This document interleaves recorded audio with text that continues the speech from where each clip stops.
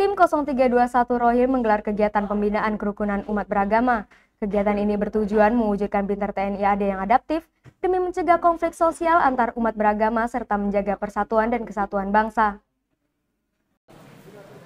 Kegiatan pembinaan kerukunan umat beragama ini dihadiri semua tokoh agama dari kalangan Islam, Kristen, Katolik, Buddha, Konghucu, serta sejumlah organisasi keagamaan dan LSM.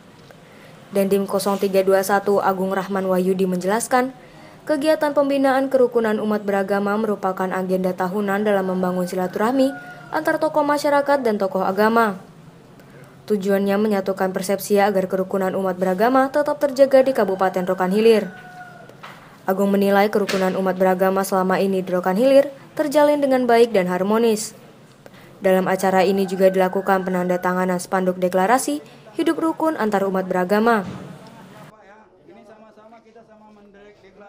Kegiatan pembinaan kerukunan umat beragama ini kita laksanakan rutin uh, setiap tahun. Bahkan di luar program kita melaksanakan kegiatan program tambahan. Intinya kita meningkatkan silaturahim antar seluruh tokoh masyarakat, tokoh agama, tokoh adat dalam wadah program kerukunan umat beragama beserta forum kerukunan umat beragama di Kabupaten Rokan Hilir sehingga tercapai ketahanan nasional di sini yang mantap dan dinamis.